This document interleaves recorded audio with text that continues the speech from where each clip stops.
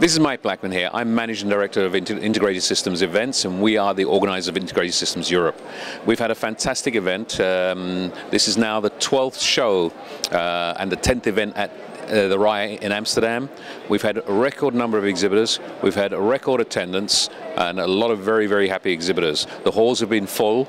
We've had 90 uh, sessions running in our theaters in the various halls. We've had a full program of conferences, education, seminars, manufacturer training. So all in all, a, a tremendous event.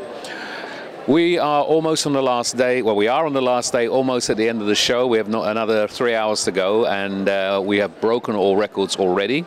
And we're anticipating an attendance around 60,000 people. So that's a, that's a tremendous increase since last year when we had 51,000 people coming over the whole show. We're looking forward to next year. Uh, in 2016, ISE will be here again at Amsterdam RAI uh, from the 9th to the 12th of February.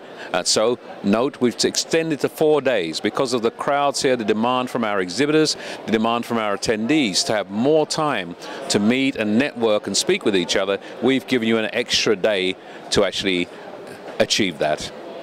Thank you for those people who've attended. For those of you who didn't get here, come next year, ISE really has established itself as the number one place to find out about AV systems integration in Europe. Thank you.